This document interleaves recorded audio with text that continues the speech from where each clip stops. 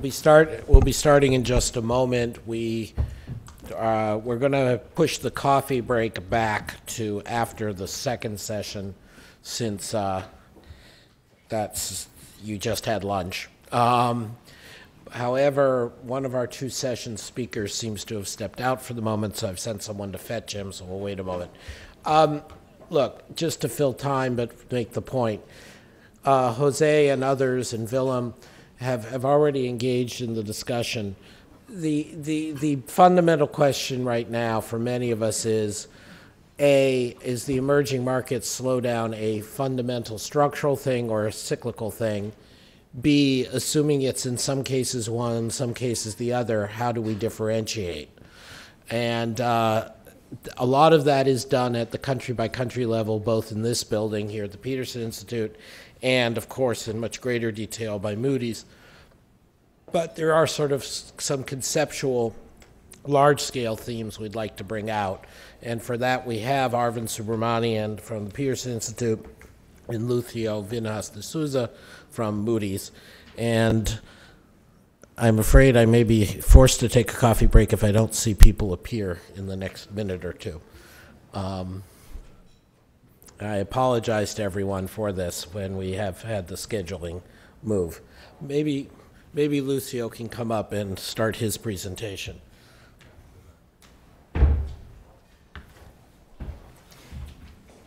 Adam, thanks so much for that. Okay.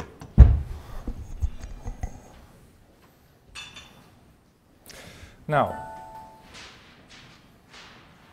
I will try again. Okay, so there we go. Now, uh, I don't have to spend time with the uh, legal disclaimers because I dealt with during the previous session.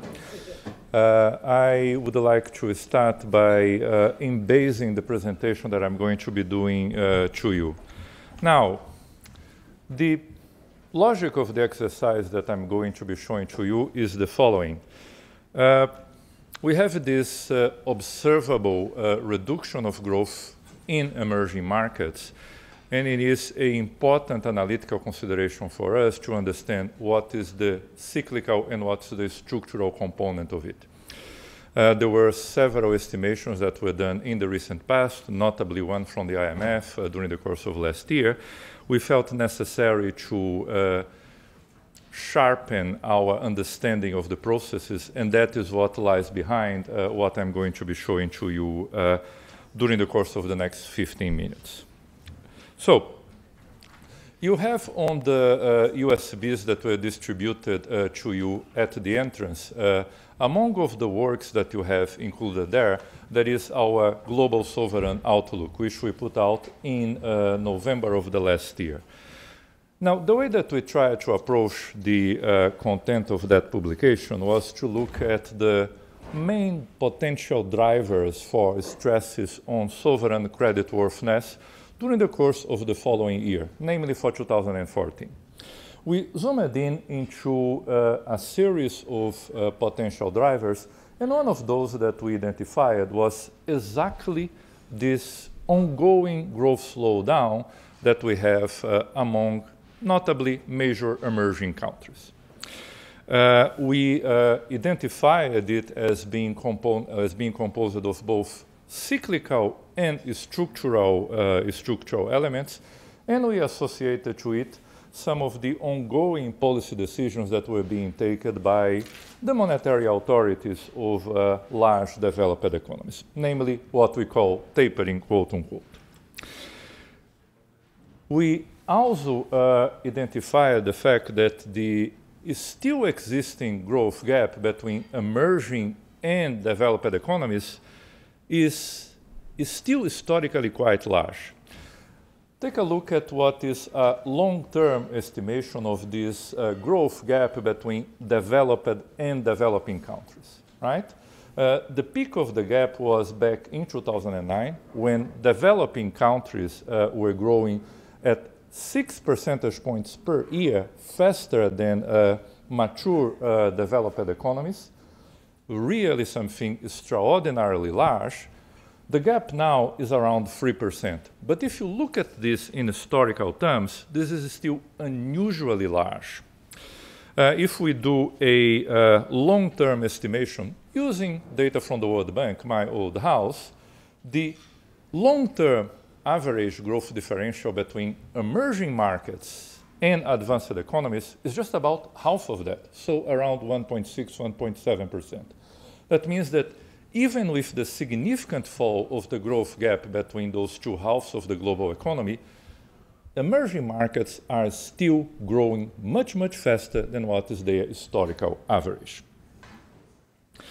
Okay, uh, we attribute this uh, growth slowdown, as I indicated before, to a mix of what are cyclical and structural components.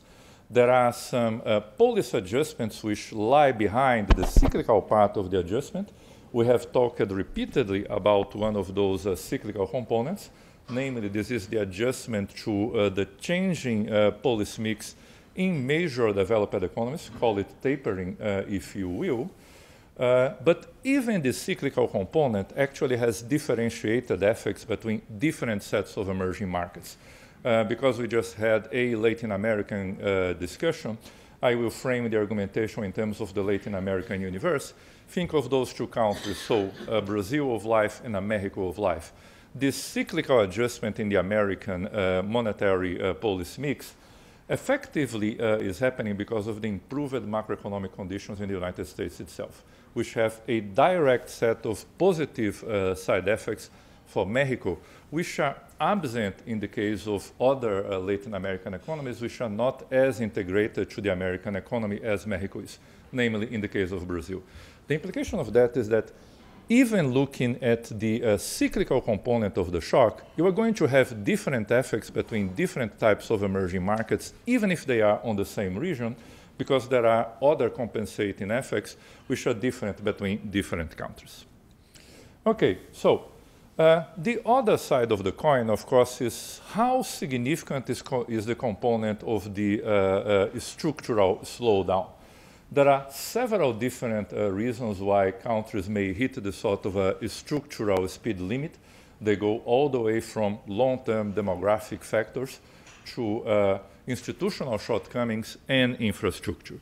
Uh, again, because we just had a uh, Latin American discussion, I will give you an example of how this panned out for a country. I was with uh, Mauro on the meetings of the Inter-American Development Country in, uh, Development uh, Bank in Brazil in a lovely region of northern Brazil. Unfortunately, to get there took us around 22 hours, right? Uh, when we went to China last year, it was faster, right? One of the reasons for that is because the transportation infrastructure in the Federal Republic of Brazil has some components that, uh, let me put it this way, could be improved, right? So that was a very graphic uh, demonstration to us of the effects of this uh, infrastructure constraint in terms of the growth potential of a country. Okay, so that is what we are going to be doing in terms of our exercise, which is fundamentally a very intuitive uh, set of analytical estimations to try to bring concrete figures to a discussion which uh, can be rather woolly sometimes. The slowdown, structural, cyclical. We are trying to put hard figures behind the concepts. We do that to a large subset of emerging economies, namely all the G20 emerging economies, which are together responsible for over two-thirds of the whole emerging markets GDP universe. How do we do that? Uh, being uh, responsible professionals, what we try to do is to use different types of uh, estimation techniques to have a set of uh, comparators that would enable us to look if the uh, estimations themselves are adequately robust. We do that with uh, two sets of uh, uh, analytical methods, uh, a traditional statistical method, namely a Hodrick-Prescott filter, and what is a more theoretically grounded analytical instrument, namely a production function approach. Uh, just to give you a little more analytical background on what those two things are, the first statistical method is merely a smoothing method for a long-term time series. Think of this as a glorified average, in practical terms, of a data series. When you take everything apart, that's what a Hodrick-Prescott filter is. You have a long-term time series, you deal with that in terms of uh, smoothing parameters. which has obviously the advantage that uh, is very data parsimonious. I only need one data series, but has the disadvantage that uh, is theoretically non-based, right? You are just extracting uh, a piece of data via a statistical trick. Also has one small analytical problem on the sense that the extremes of the distribution, when you do the statistical process, they are uncertain. There are ways in which you can deal with that. You can extend your data series with, for instance, forecasts, therefore looping up the uh, part of the series which became uncertain because of the distribution of the filter. The second part, which is uh, much more data demanding, is based on the notion that we produce stuff in economies using production factors. I am a production factor. I'm labor, right? The table or the computer over there, they are a production factor. They are capital, right? So what we try to do here is to build series of those production factors, labor, capital, or more precisely, changes thereof, and we put everything else in a residual, and we call this residual total factor productivity. How effective we are in terms of uh, working uh, this combination of labor and capital. Practical example, again using the uh, example of working uh, in Brazil. Uh, if you are working in an environment in which uh, is 40 degrees out there and you have conditioner there, you can combine this labor and capital much more effective if you are locked in a building without a elevator, it has 30 floors, and there is no conditioner there. Believe you me, it's much more difficult to work effectively under those conditions. Think of this as technology, right? Technology in the production function is effectively estimated as a residual from the regression because you don't actually have time series that show to you what is technology.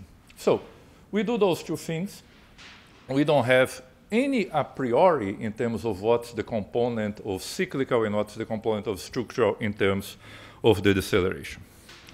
Now, before I actually show to you the uh, results of the estimation, uh, one thing that we should uh, realize is that albeit the overall deceleration is around 3% between 2010 and 2013, for the larger sample of systemically important emerging markets, the G20s, is actually higher than this. It's around 3.4%. And on this universe, you have several systemically important emerging markets whose growth deceleration is 5% or above. Take a look at the set there. Countries in Latin America, countries in, sub, uh, uh, in the uh, Indian subcontinent, uh, India itself, Turkey, so you have systemically important emerging markets of deceleration really is quite considerable in this time frame. Okay, so what do we get? First, allow me to show to you the uh, individual results of the two approaches, two and a half, because I'm going to show you something else. And then I am going to translate all the figures that I'm showing to you later. So that's what we get out of the production function. That is what we get out of the uh, uh, Hodrick-Prescott filter applied to a GDP series. And we do a Hodrick-Prescott filter also on an industrial production series, simply because of timeliness reasons. GDP would simply deliver you the status of the economy last year. Production, uh, uh, industrial production series, they are monthly series, right? So they would be able to give to us at least a taste of what is the level of the deceleration right now because we have available uh, industrial production series effectively until last month, right? So they show to us the degree of the deceleration up to the first quarter of this year. We do this with uh, annualized uh, industrial production series. Of course, the results are significantly uh, more varied when we use the industrial production series because of the different shares of industrial production between different GDPs and the very variability that an IPI has in relation to the GDP itself. So think of this as an additional uh, robustness metric that we use. So bottom line, what do we get? We get this. To no one's surprise, our estimations show that there are both structural and cyclical components on the deceleration. We knew that already, right? But the interesting thing is that uh, when we look at the individual results of the methods, the bulk of the deceleration actually happens to be cyclical for most of the countries. we actually had uh, some statements on the previous Latin American session that are consistent with that. Remember what José de Gregorio said to us, right? Deceleration is cyclical. The results that we have from an analytical point of view support the notion that the bulk of the deceleration is cyclical. A smaller component is structural. The results varied between uh, different estimation uh, methodologies, but actually using GDP data from production function and from the H, HP uh, filter, results are actually rather similar. Between 20% and less than a third actually is structural. The whole rest, between 80% and 70%, is cyclical. We have uh, larger shares of structural on the IPI-based one, but part of this comes from the very nature of what is an industrial production index, so it's much more variable. However, there are individual countries in which the structural component of the deceleration is much more significant, and in some cases actually is the largest one. Notably, that's the case for China and for Russia. In some of the estimations, actually, in the Russian Federation, the structural component of the deceleration actually is the most important of all.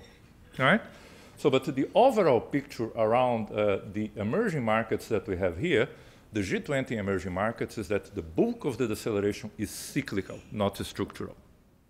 Okay, so here I am putting uh, figures in terms of what I just told you verbally you don't have to try to read the table uh, here. You have it uh, printed on the booklet that you have uh, in front of you.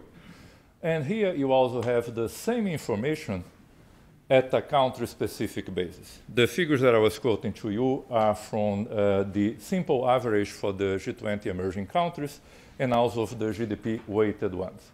The GDP-weighted ones are actually surprisingly similar between the uh, production function and HPA approaches, so around one quarter of the total is, uh, is, uh, is uh, structural. The bulk, therefore, around three quarters is merely cyclical.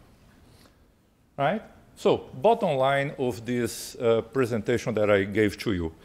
And I once again burnished my reputation for sticking on time by being uh, 15 minutes to the dot. now, the growth deceleration among emerging markets is real and is very significant, right?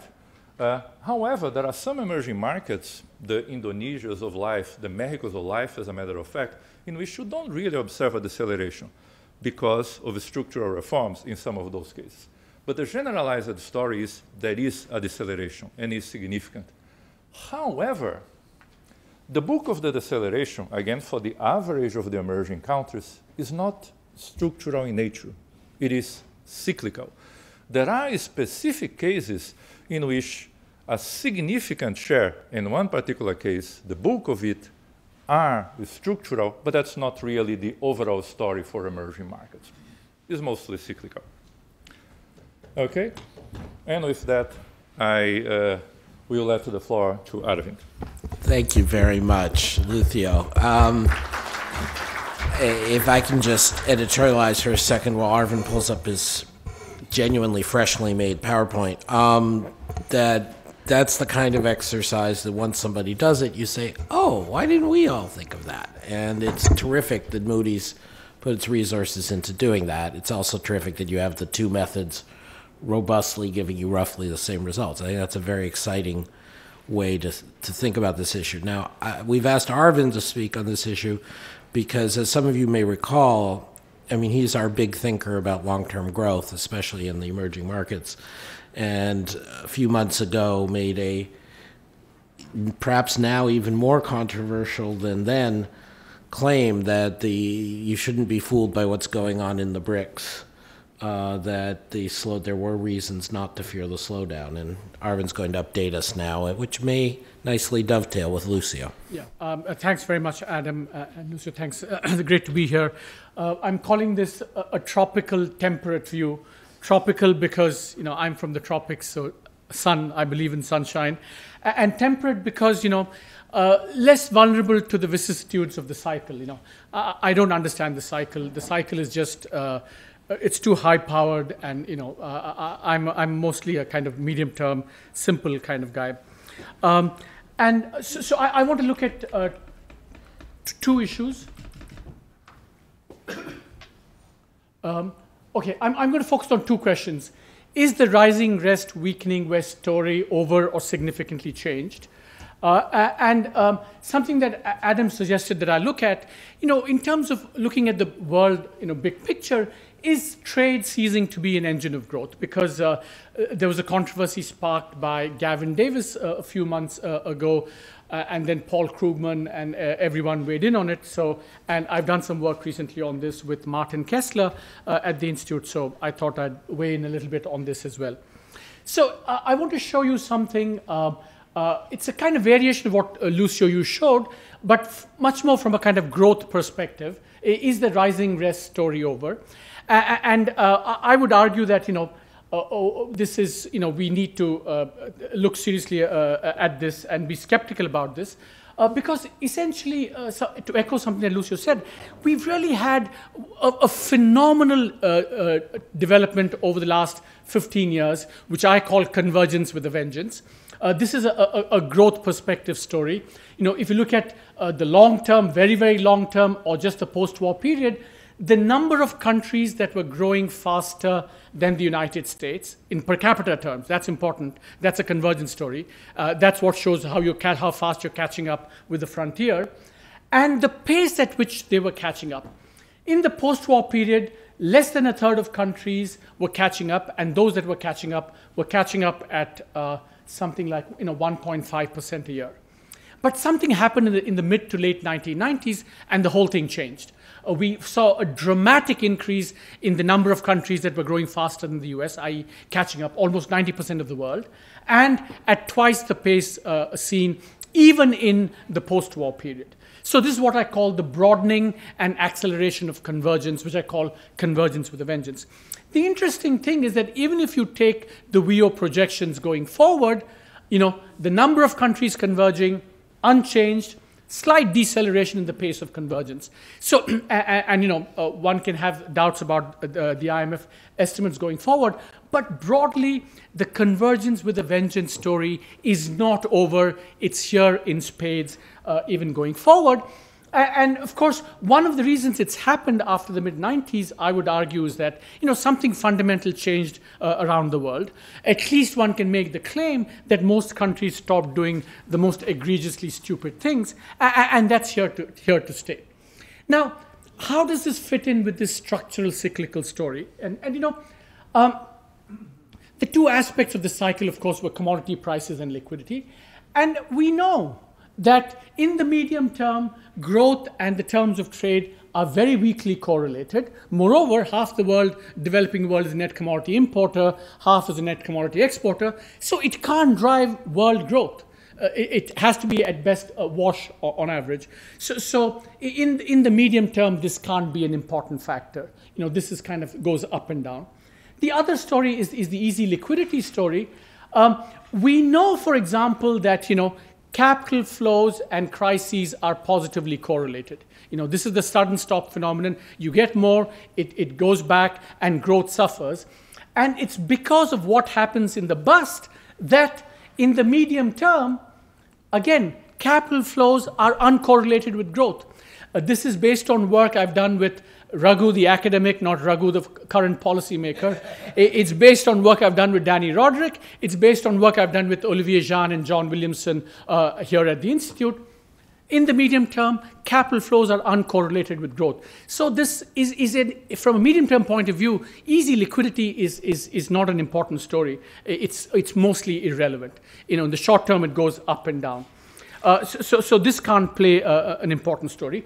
Moreover, I would argue, based this, this is a chart from my book, if you look at the timing of the improvement, this convergence with the vengeance story, it predates you know, the commodity price easy uh, liquidity story. It starts, in fact, this is a chart showing how many countries started converging with the United States. It starts actually in the early 90s, and the same chart, I mean, the same pattern holds if you look at also at the magnitude of convergence.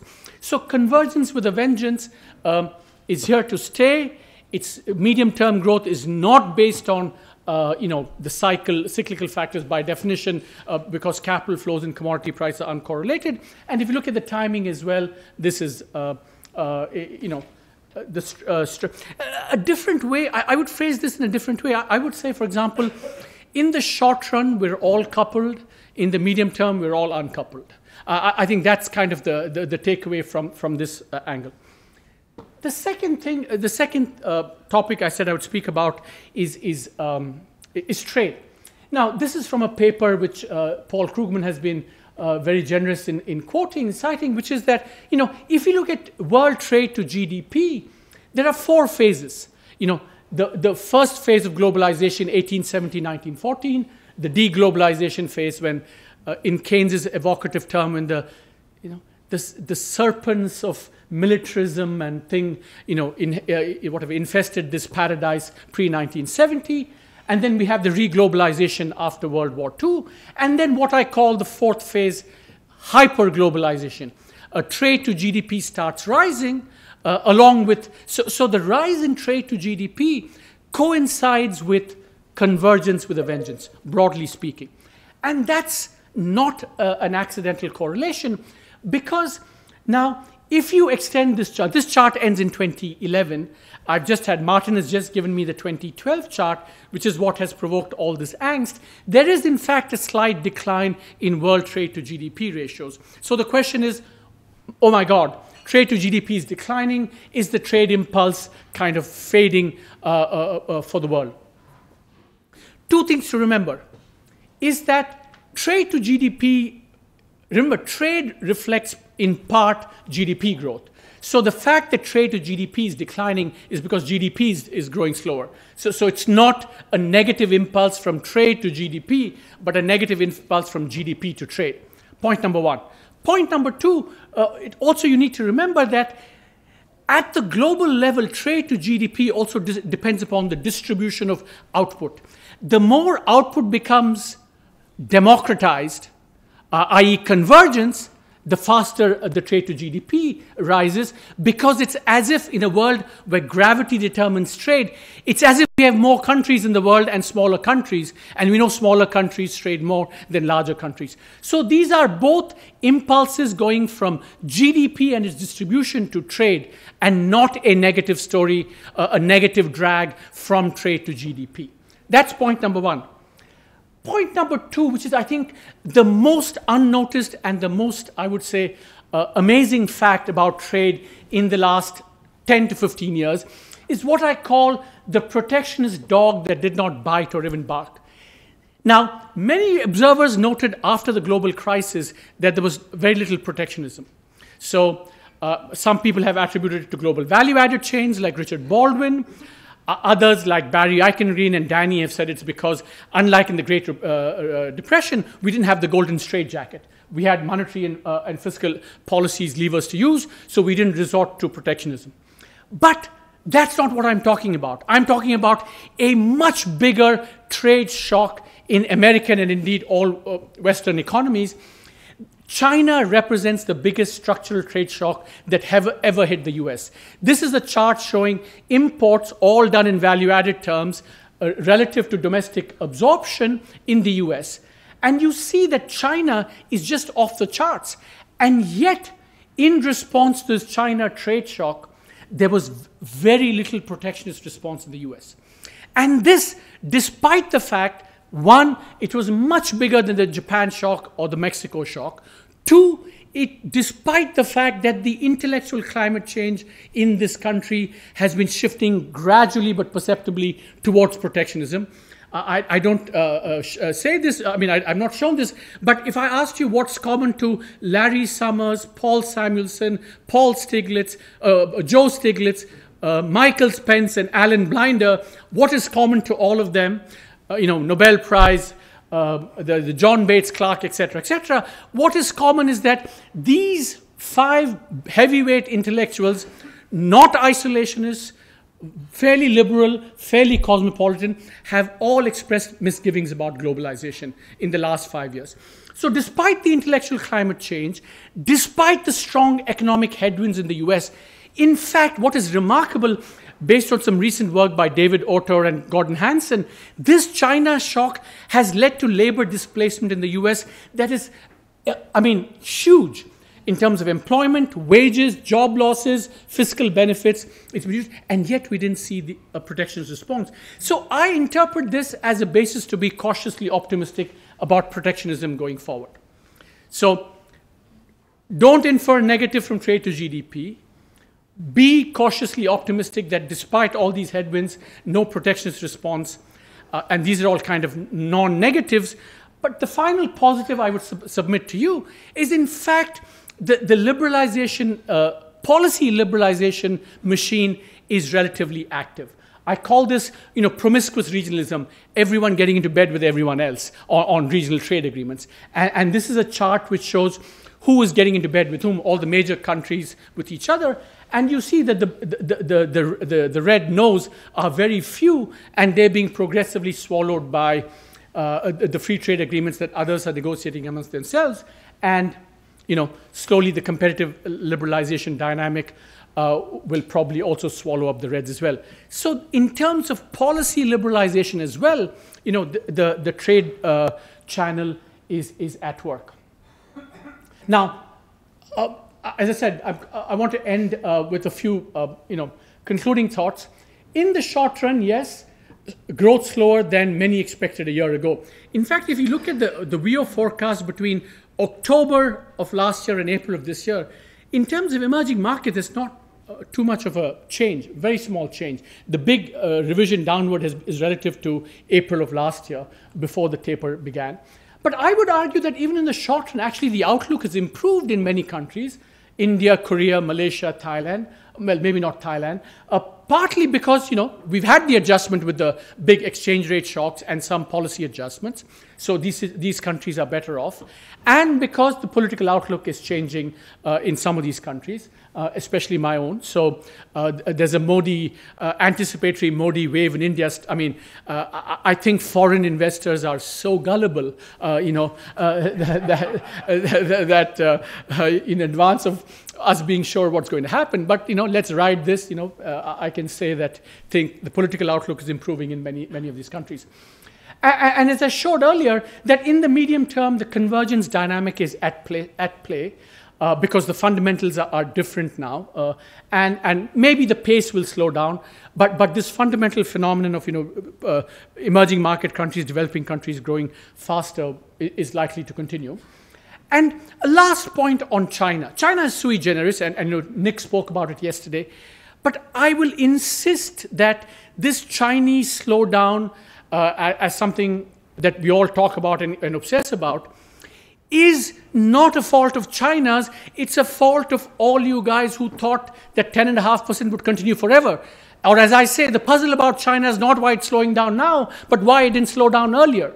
A 10.5% growth for 30 years was, in fact, the aberration, and the fact that it's slowing down to something like seven, seven and a half is what you should always have expected, consistent with you know, the basic convergence dynamic at play. And finally, can trade continue without of growth? I think it can, but of course, U.S. Congress, where art thou? You know, uh, uh, uh, it's, a, it's going to be a key, you know, the, the U.S. Congress has to, you know, keep the, the trade liberalization momentum going. And if it does, uh, you know, the, the, the, the, things that I told you about, the competitive dynamic, because remember, uh, one of the amazing things is that uh, in, in, all of this, China, which I had about a year ago feared would view TPP and TTIP as a kind of challenge and a threat is now going over backwards, partly because of domestic, uh, what's happening domestically, the imperatives for reform are increasing internally, but China is now not only playing ball you know, in the International Services Agreement, not only playing ball in the International Technology Agreement, not only playing ball on environmental agreements, it is publicly saying that it wants to join TPP. And the irony is that it's the US that wants to keep it away more than China wants to join today. So, so as long as Congress can get its act together, this trade as an engine of growth, that dynamic can continue, and we shall see the glass, you know, rising, the water in the glass rising. Thank you.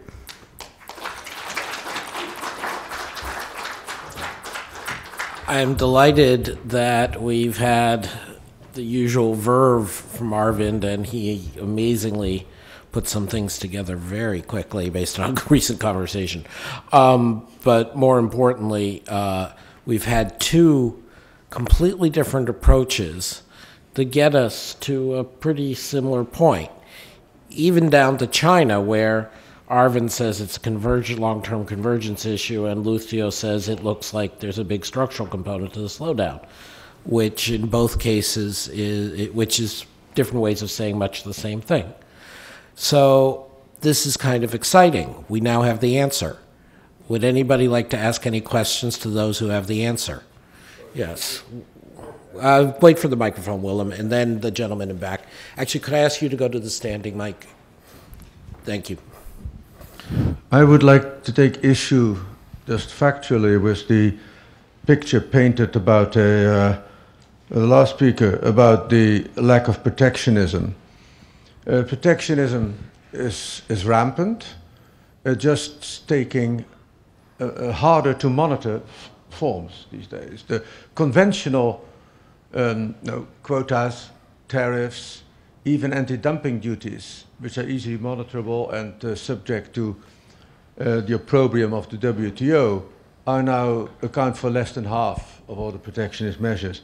I recognize a perusal of Simon Evenett's Global Trade Alert for this, um, and uh, uh, just in the, I just looked it up again, June 2012, May 2013, there were 431 new protectionist measures, 141 commerce liberalizing measures. The G8 accounted for 30% of the protectionist measures, the G20 65%, and China was the most frequently harmed by these measures. As I said, traditional forms of protectionism, less than 30%, ones that go under the scope of the familiar uh, rider. And I'm talking about here phytosanitary excuses for trade, right? Environmental fig leaves for trade protectionism. Um, uh, and then uh, variants of anti-dumping or uh, uh no, uh, import subsidization things, they're, they're rampant. And I think they account undoubtedly for part of the deceleration in, you know, the, the, well, the stabilization of the, of the trade to GDP ratio. Thank you. Uh, before Arvind says anything, and I do want him to say anything, I will point out that leaving aside even at scores, um, Gary Hufbauer, Jeff Schott, Cathleen Cimino in this institute did a very good study a few months ago on the huge proliferation of local content requirements around the world in the US, China, Brazil, elsewhere, that I also commend you as a different form of uh, protectionism being tracked. But Arvind, you know these things. What do you want? Uh, thanks. I've read the Simon Evenett's uh, Global Trade Report. Um, uh, and my response to this is very simple. Numbers and magnitudes are very different. These are count measures. Uh, these are count measures. So one, uh, we don't know what the tariff equivalent is. One. Two, we don't know what the coverage is on, on terms of in terms of the base cover. And uh, uh, I would hazard a, a very uh, uh, strong wager that it covers a very small per percentage uh, when you multiply the, the, the, magnitudes times the quantities, a very small fraction of trade. Uh, that's why, by definition, they are you know, non-tariff measures. If people really wanted to do across-the-board protectionist measures, they would. So, so my thing is that yes, there, but, but relative to the trade shock, uh, remember, Willem, we had the biggest trade shock, much bigger one in a cyclical sense in the Great Depression. Two, the structural trade shock in the US is far greater than anything we witnessed. So relative to that, this is peanuts. We should be, we should be uh, I mean, we, we should, we should uh, uh, be grateful that, you know, it was so small uh, relative to the magnitude of the shock. And so I think in, in quantitative terms and relative to the shock, this is probably very small. So the gentleman at the back mic, if you could identify yourself, please. Sure. Manmohan Kumar from the IMF. Uh, very, very nice presentation. Thank you. Uh, I think this issue of structural versus cyclical, clearly tide is turning now, and your uh, analysis uh, proves it that you know a lot of it was cyclical. Six months ago nine months ago, it was thought to be mostly structural. My point actually concerns a country which you say is structural uh, decline, but it has enormous implications for the rest of the world, which is China. Now, Arvind said very rightly that you can't expect econ- economy to grow at 10.5% forever, for sure. But when you have that economy growing at 10.5% for many years, and it's the second largest economy in the world, what are the implications of that for the emerging markets? And this is an, in an environment where you have the euro area, you know, flirting with deflation, activity likely to be very weak. Abenomics means, you know, perhaps you will have success in Japan, maybe not. So the external environment generally is going to be weak, and you have China, which is, uh, happens to be the largest trading partner for many emerging markets, slowing down very sharply to a sustainable rate, you know, 7% or so. Nonetheless, uh, it seems to me to be pretty important in terms of the prospects for emerging markets. So your comments would be welcome. Lucio. Uh, thanks for uh, thanks for that. Uh, uh, first, a few considerations in terms of uh, figures. As we pointed out, uh, there is a significant component of uh, structural slowdown in China, but the largest part is still cyclical, right? And we should keep things in proportion. You are absolutely right on the sense that China, by definition, could not be growing at 10% forever I don't think that we were ever among those that uh, use this as a punchline. Uh, a China that is growing at 7% now happens to be a much larger China than that China that was growing at 10% six or seven years ago.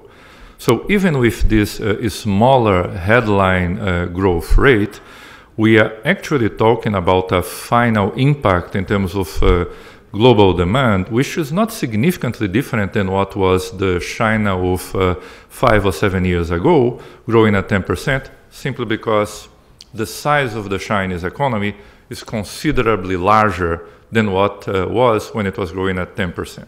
Now, uh, in terms of the actual figures of the uh, uh, structural growth deceleration, if we uh, think of this in those terms, right? Roughly 3% uh, growth has been lopped off from China in the past three years, so it uh, went down from 10 to 7. Of this fall, just about 1% actually is a structural growth slowdown. The other 2% are the cyclical component, right? Which are also related to the policy measures that the Chinese government pumped up in the Chinese economy immediately after the, uh, the Great Recession. In a way, I take comfort from the fact that when you look at that, the uh, trend growth rate of China is still considerably respectable. And again, we are talking about an economy which is much larger than before. I don't have particular concerns in terms of the uh, external demand shock that China provides to other emerging markets, as long as we uh, buy the notion that the uh, long term, medium term growth rate of China is still around 7%. If you allow me a second point uh, on that, uh, this is another discussion that we have concerning the so-called uh, implications of the rebalancing of the Chinese economy.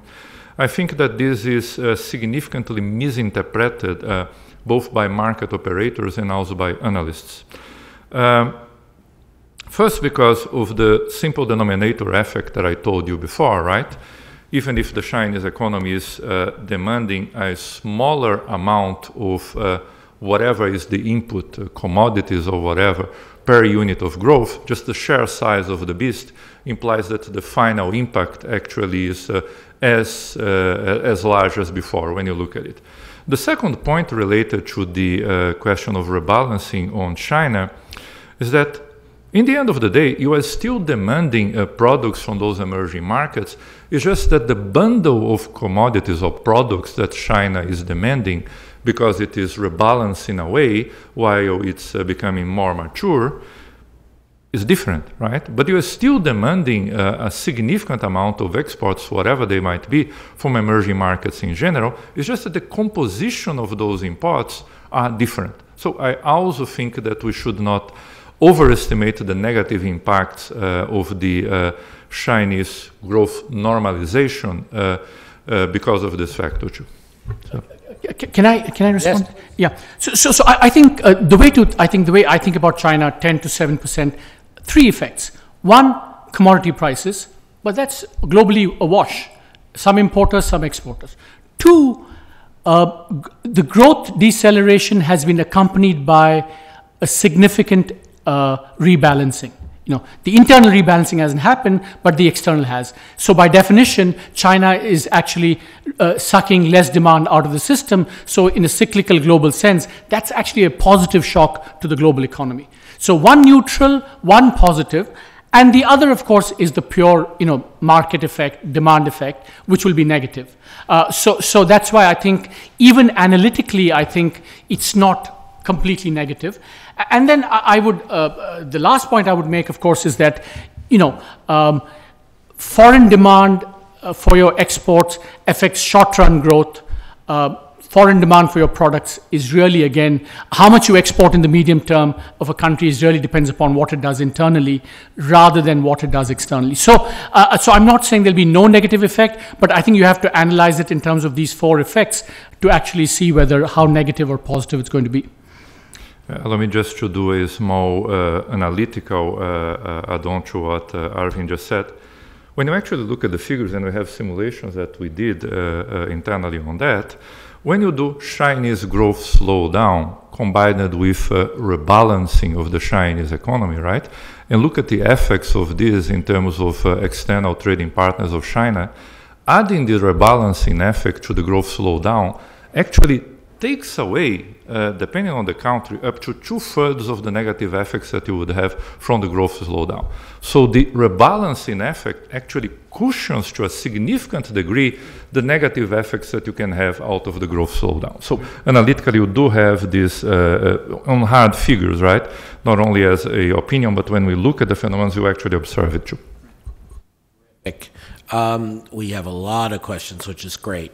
Could I ask the gentleman at the far back to go to the mic, and then um, you'll get in later if since you already went once, and uh, then Jacob, and then then Bill.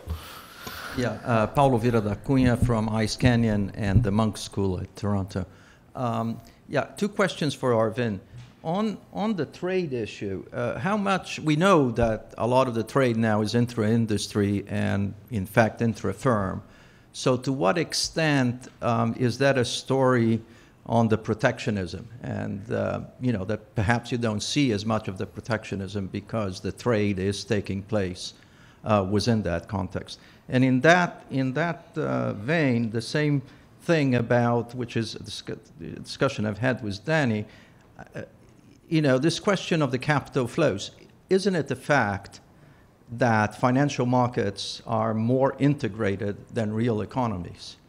And to the extent that the financial markets are affected uh, by global financial conditions to a much immediate effect and to the capital flows to immediate effect.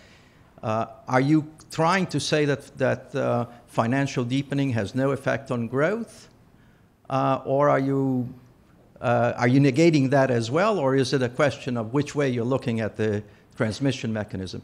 And just as an aside, I agree that over the very long medium term, the commodity impacts of, uh, of China is a wash, but the composition matters a great deal uh, over, you know, perhaps three or four or five years. So you, you could have significant effects there.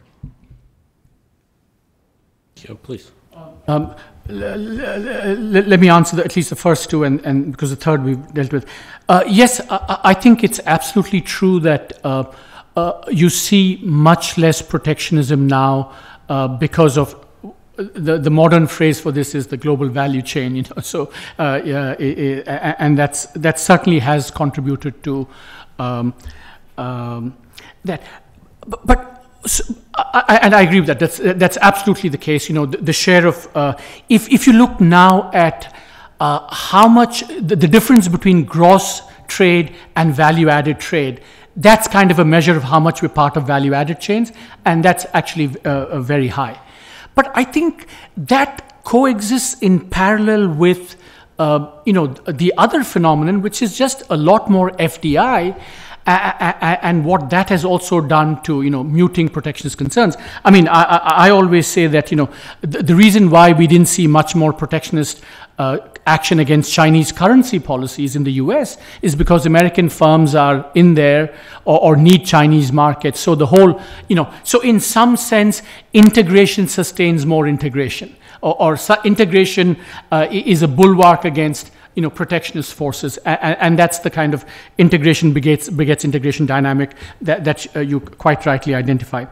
Now, on, capital flows, uh, I'm, th- this is something that I feel strongly about. I, I, I think the evidence is very clear that look, when you talk about, you have to distinguish between domestic financial development, financial deepening, right, from foreign financial integration. These are two completely different things. And uh, they say, and I'll take their word for it, although I, I don't actually uh, uh, uh, believe it, is that you know even domestic financial deepening is, is good for growth. Uh, I think it's a correlation. I, think the causation is far from. Uh, I've yet to see a really uh, you know a study with good identification, good econometrics, which actually shows that you know uh, finan- domestic financial deepening uh, promotes long-run growth. But I'll take their word for it. But that's very different from financial capital market integration. Foreign flows are you know, and the reason they have no impact is one, they lead to boom and bust cycles, and the second, they lead to appreciated exchange rates. And and I keep saying, if, if you ask me what is the one genius act of genius that the Chinese did in the last 20 years, um, and it's a non-action. It is not to open the capital account when they were growing at gangbusters, because everyone and his uncle would have said, "Oh, you're growing rapidly. This is the time to open the capital account." And they said, "No, we're going to keep the mercantilist engine going for longer time by keeping the capital account closed." And that, you know, bad for the world maybe, bad for the U.S. maybe, but from Chinese development strategy point of view, genius. But with just one point in terms of the uh, a cat that uh, did not meow a dog that did not bark, the protectionist one. Uh, I'm a guy that has a strong belief in institutions in general, right? I think that one of the reasons which is frequently underappreciated is that we now have an institutional global framework for upholding free trade, which simply was not there back in the 1930s. In the end of the day, we have not only a WTO, but a WTO which was wise enough to bring all the big players into the table, and that does make a significant difference. So one of the reasons why this particular dog did not bark is because we have institutions now. Now, on the, final point of the gentleman, of course there are going to be adjustment costs, right? This is not a neoclassical perfect model. There are adjustment costs to anything, right? Be those a changing a growth model of a country or a switching of the monetary policy of the uh, American Federal Reserve. There are always short-run adjustment costs. Those are inevitable, right? But we should also pay attention to what are the final results of those policy actions and uh, structural changes. We had a backup of questions. I've got Jacob. I've got, oh my God, I'm blanking your name. Roz, Roz Engel, sorry. I've got Bill, and I've got our friend from Ziff. Um, and I'm spacing out, and I apologize. Jacob. Quick question, I think probably mostly for Arvind. Can you boil down your, uh, you know, sort of rosy outlook for emerging markets and continuing convergence to really that stop doing dumb things is enough to escape the middle income trap? Uh, is that uh, because it seems to me that uh, you know that's essentially what you're saying. Because I think you could make a case that many of the drivers of the shock you made are really you know China stopped being Maoist. Uh, that helps quite a bit. India stops being a closed economy. People throw up the communist joke. You join the global economy. But those are largely one off e- events. And there seems to be a somewhat normative assessment built in there to me somewhere that you're basically assuming that actually they will continue to run really sensible policies. Which reminds me of a study we did here at the uh, Peterson Institute some while ago, which showed or pretended to show that emerging markets' long term fiscal futures were much rosier than advanced economies. But it was all basically premised on the fact that they would sort of keep their pre industrial country levels of uh, social welfare, etc., which I think in a dynamic long term political economy is highly unlikely. So that's the question. Um, before my colleagues respond, I, I- I'll just put in a word on this. I, I think the "don't do anything stupid" school of growth is actually a very powerful school. Um, it's when you when you look at who falls out, whether it's whether it's Zimbabwe, Albania, North Korea, or Venezuela, arguably right now, you know, the, doing something stupid. But even within the is a big explanatory factor. Um, even within the developed economies, you know, my my one of my hobby horses is that Japan did some really stupid things in the 1990s, and that explained a lot of their problems. So I think the I'm, I'm not sure, Jacob, that we want to set it up as about the middle income trap. I think I would set it up in much the way that, that Arvind just did, which is you have a certain point of growth at which you should be on your fundamentals, and then convergence is part of that.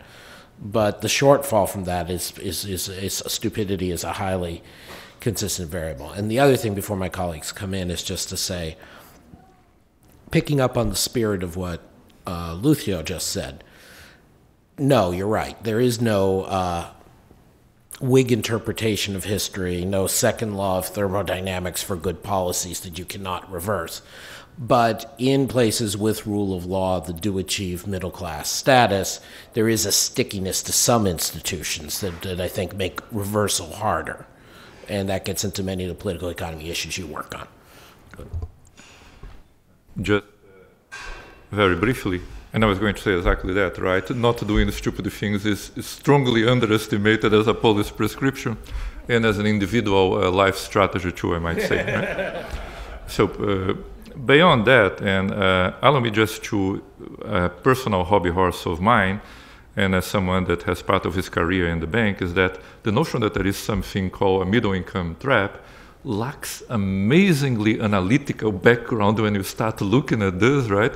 It is Exactly. a uh, very good marketing strategy from a common friend of ours, Indermit yeah, Gill, exactly. Indermit Gill, but analytically, when you look at it, it's simply really not there, right? So, uh, I mean, I have a great resistance to this. Uh, as a, just a final quote, a part of what I was trying to say is that there is a fundamentals-based notion on the continued convergence of emerging markets, so the differential growth in relation to uh, advanced economies, which end of the day is still there, right? That's the notion that part of the component which is structural is smaller, right? So you still have this longer term uh, trend of convergence, which in the end of the day is still there. Ju- Just a, a- a- three very quick points on this. Um, I've just uh, uh, taught the middle income trap this morning in class, and, and, and I've surveyed the evidence, and, and Lucio's uh, exactly right on this. There's very little evidence uh, for properly defined middle income traps, uh, uh, one. Two, a, a lot of the countries that we're talking about, you know, even India and you know, South Asia, Africa, they're not even close to the middle income trap. So, you know, a, a big bulk of them are, are, are, st- are still not there. And third, remember, finally, uh, uh, uh, as I showed, even with all these projections, you are going to see some uh, narrowing of the convergence going forward, partly because countries like China are going to slow down. So I I think all three are consistent w- w- with, with this phenomenon, yeah. Uh, to Roz, please, and then Bill, and then Chris. So I'm, if you don't mind, I'm going to actually go revisit that question because I um, wasn't quite sure we got to the part of it that I really wanted to answer. Um, so one of the factors you sometimes hear when you're thinking or hearing about emerging market turbulence is political risk. Um, and uh, you sort of mentioned a little bit or seemed to suggest that you felt that the political outlook, I think is the way you put it, was um, pretty positive or more positive maybe than the press is suggesting. And I just wanted you maybe to explore that a little bit because, um, you know, as countries particularly go through, say, financial market turbulence, growth slowdowns, and then we have lots of elections, which is something that's also been kind of mentioned in this context, you sometimes see policy mistakes or wishful thinking or other sorts of uh, problems. So, one, I was sort of curious if you could really clarify do you really think that we're in a different kind of world where political leaders are actually going to make better policy decisions? And the second part of that is I guess I'm kind of curious why um, you might think that we're in a slightly different place in terms of the quality of policy or institutional quality. So, uh, I mean, is everybody just smarter? You know, have we just all gone to the right grad schools and, you know, everybody's just a good technocrat and we kind of get it? Or is it that um, maybe institutions are sort of more constrained and disciplined by globalization and more open markets? So, you know, the consequences of failing or making a policy decision, bad one, is are higher. Um, or are we just in a situation where people have just been very cautious and risk averse and built up big cushions, and so you know they kind of have big insurance policies behind them? Be, again, I'd love to have my colleagues answer, but I want to point out that part of you forgot hypothesis number four. The, the excellent work of the Peterson Institute and Moody's Investor Service has led people into better better policies. But least increase the cost of stupid mistakes. Yeah. Uh, Lucio, you want to take it? Please. Uh, you know, sure. Uh, uh, uh, I want to say three things, and uh, this is uh, maybe partly reflects uh, my kind of Indian bias. Uh, is that uh, certainly the two big economies in the world, India and China. Uh, I, I think uh, in India the political outlook is looking better because we've had basically bad governance uh, for, for a long time, corruption, etc.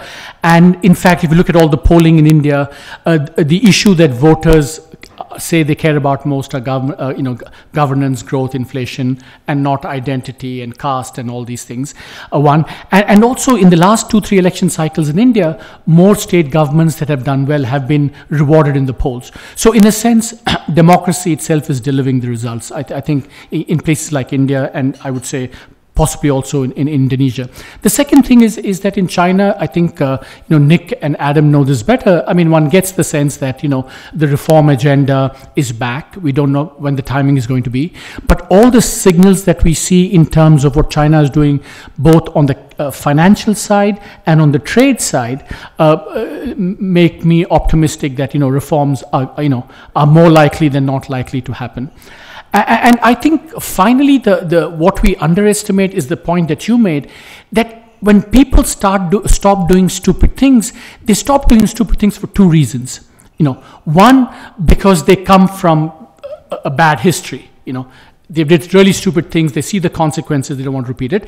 And then you see, you know, what happens around the world. So the idea of sound macroeconomic policies is, I would argue, part of the TFP that we see in growth uh, in, in growth regressions. That you know, TFP is about you know not just technology but about good ideas, uh, and not doing stupid thing is part of the good idea that's traveled due to globalization.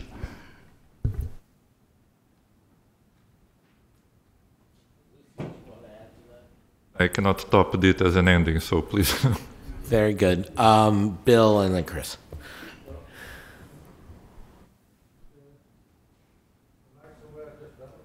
Lucio, I, I wonder whether your result, which is dominantly cyclical, is affected by your choice of the base year, 2010, and terminal year, 2013. 2010 was a sharp recovery from a very low, very weak 2009. So I'm a little concerned that the structure of the test may, almost by definition, give you a very heavily cyclical uh, result. Now, the bottom line, though, is whether 2010 was too high or 2013 is too low in some sense. So, the way I'm looking at this is that the, the fund has taken off a full percentage point on emerging market growth for its five year out. Uh, cut it down from basically six and a quarter to five and a quarter as sort of the, which should say steady state emerging market growth. And if it, if it is going to be five and a quarter, that would be the same average as in 1996 to 2005. So we had this aberrational period maybe when you had 7.5% growth from 2006 uh, to 2008. Uh, and so my question basically is, at the end of the day, after you take all this into account, does your cyclical dominance result mean that don't worry, we're going back to six and a quarter because that's the that's the uh, structural, or yeah, we are going to go at a five and a quarter, and maybe even less than that. I mean, how how do you come out looking forward against the fund? And of course, in a sense, that was implicit in Jose's discussion of the average growth rates as well in Latin America. Uh, Yep, uh, I will have to uh, reply by the negative uh, on the sense that uh, you are implying the structural based question in relation to the sample that we chose. We effectively chose the top of the cycle uh, to, to the bottom. I could not reply with any analytical certainty if we had chosen a different time sample that the results would be different but uh, that is a very interesting uh, question, and I assure you personally that once I'm back to New York, I will put my team working on it.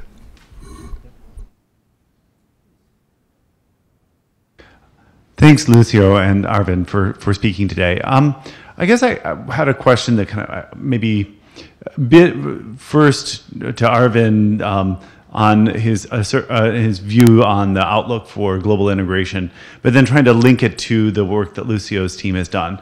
So the first is.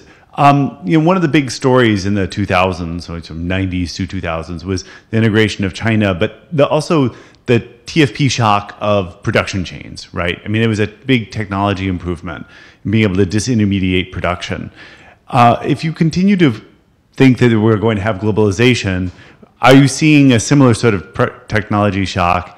And if so, what what do you think it might be? If you maybe could sort of think, sort of project forward um, in that regard, because it, you know all the stories you're hearing is production moving from China to Bangladesh, right? Which is not really disintermediation, right? It's just spreading it out a little bit, but it's not really continuing globalization.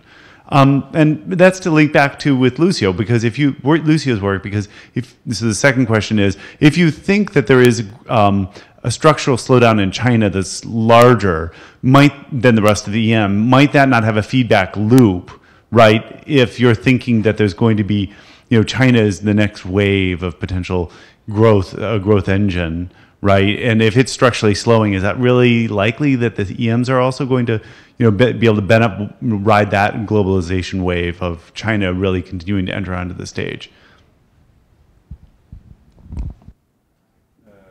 Just taking first the first part of your question. Uh, Effectively, the usage of a production function approach enables you to decompose what are the contributions of the different factors to growth and also to the cyclical and structural components. Another way of saying that is that uh, I can look at the results for the aggregate for the individual countries and see how much of this is coming out of TFP and how much of this is related to cyclical deceleration or the structural deceleration. Good news there on the sense that uh, TFP, and especially for countries like China, has been holding quite well. A significant part of the deceleration that you have in the country is relation to things which are intuitive in a way. The country has not only a aging workforce, but actually has a contracting workforce. So a great component of the cyclical uh, deceleration in China is coming out not of the technology uh, shock itself, but just out of people, right? Because surprisingly, they actually have less people in people which are older, right? So from the point of view of the medium-term drivers, the fact that TFP has been holding well uh, throughout the past five years actually is one of the uh, positive uh, sides of the story here. There are some countries in which the TFP shock is actually negative. There are countries, for instance, in which all the three factors are combined uh, generating negative contributions to growth. Russia, incidentally, is one of those uh, countries in which TFP shock is negative, capital accumulation shock is negative, and the uh, populational shock is negative. In the case of China, because of the underlying positive dynamics of TFP, that's one of the things that I find positive out of the uh, Chinese growth story too.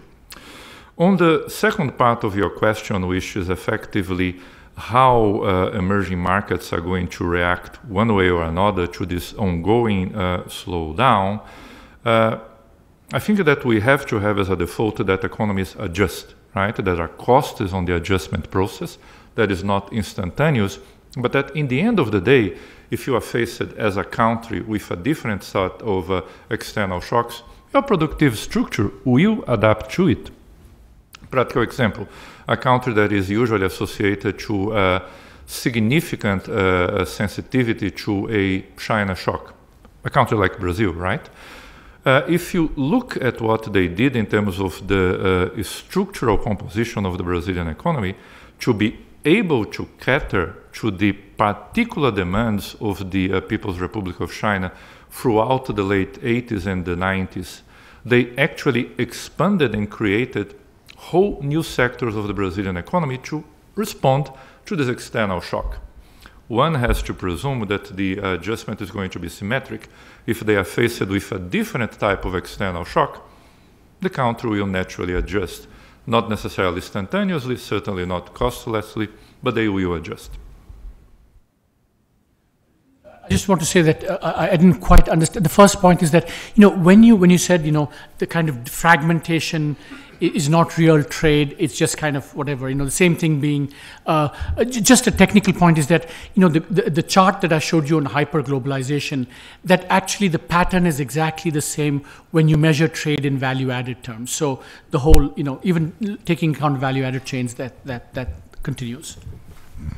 This has been a terrific discussion. We're at our coffee break. Uh, I'm going to give you 15 minutes to play outside in our sculpture garden and at three, a little less than 15 minutes, and at three o'clock, we will have the final panel of today's session. Thank you very much. Arvind, Lucio.